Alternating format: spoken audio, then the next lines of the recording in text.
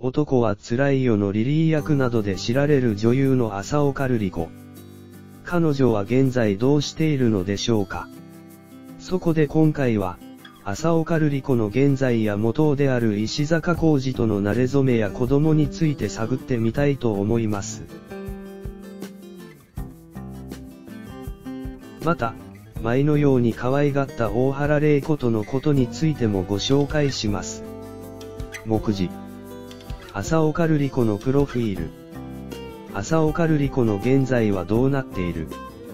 元を、石坂浩二との慣れ始めは何？浅岡瑠璃子はハーフなの。大原玲子との関係はどんなもの？まだまだ現役の浅岡瑠璃子。浅岡瑠璃子のプロフィール。事務所公式リンクはこちら。本名、振り仮名小学校割りコロン浅井信子、浅井信子。所属事務所、マイプロモーション。生年月日、1940年7月2日。現在年齢、81歳。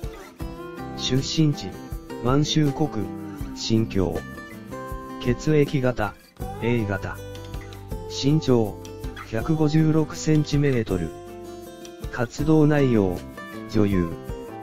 緑遥にヒロイン役でデビュー。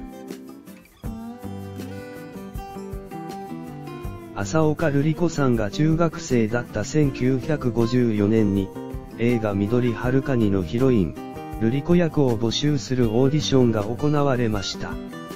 この話を知った浅岡瑠璃子さんは、瑠璃子役に応募します。応募人数は、3000人ほどだったそうです。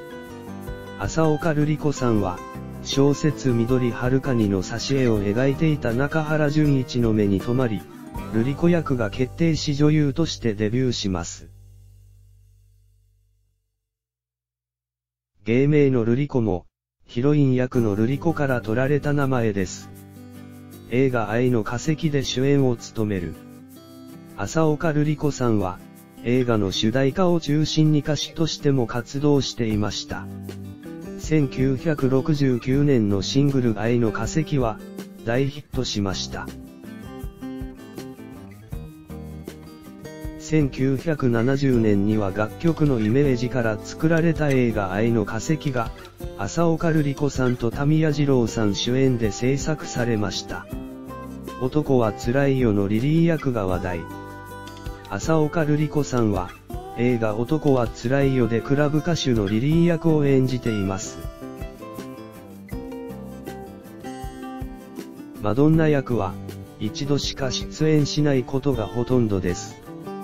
しかし、リリー役は大好評だったこともあり、マドンナ役として最多となる4回の出演を果たしています。渥美清さんの生前最後の作品となった男は辛いよ虎次郎紅の花でも、浅岡瑠璃子さんはマドンナ役として出演しました。撮影現場で渥美清さんの具合の悪い姿を見た浅岡瑠璃子さんは、男は辛いよ虎次郎紅の花と監督に頼んでいたそうです。しかし、続編が決定していたこともあり、浅岡瑠璃子さんの願いは実現しませんでした。渥美清、虎、さんを送る会では、浅岡瑠璃子さんはリリーとして長寿を呼んでいます。2019年公開の男は辛いよ帰り虎さんにも、浅岡瑠璃子さんは出演しています。若い頃が美人だった。映画緑遥にの瑠璃子役でデビューした浅岡瑠璃子さんは、目の大きな美少女として評判になります。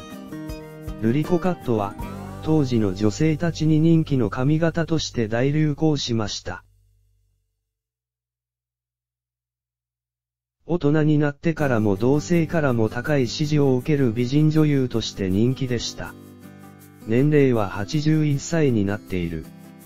浅岡瑠璃子さんは、1940年7月2日生まれのため、現在は81歳となっています。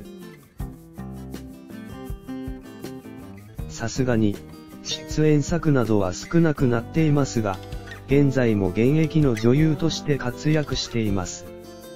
安らぎの里、安らぎの刻み地では、元の石坂浩二さんとの共演も話題になりました。浅岡瑠璃子の現在はどうなっている？2021年に81歳になった浅岡瑠璃子さんですが、現在はどんな活動をしているのでしょうか？病気になっていた。という話や激痩せの話題についてもご紹介します。七種のルーシーの制作発表に登場。浅岡瑠璃子さんは、2020年12月1日に行われた主演朗読劇七種のルーシーの制作発表に六角誠治さんと一緒に登場しました。七種のルーシーは、六角誠治さん演じる新聞記者のでっち上げ記事に翻弄される元女優を描いた喜劇です。浅岡瑠璃子さんと六角誠治さんは、20年来の友人で麻雀仲間でもあるということです。七市のルーシーは2021年3月に公演予定でしたが、新型コロナの影響で公演中止となりました。秋以降の公演を目指すということですが、現在のところスケジュールは明らかになっていません。病気になっていた。浅岡瑠璃子さんは、七市のルーシーの制作発表で2020年は帯状疱疹と腰痛に悩まされて大変だったと告白していました。これまで病気をしたことはなかったそうですが、いっぺんに病気になって大変だったようです。コロナ禍での影響で帯状疱疹の患者は増加しており、帯状疱疹になったことを公表する芸能人も少なくありません。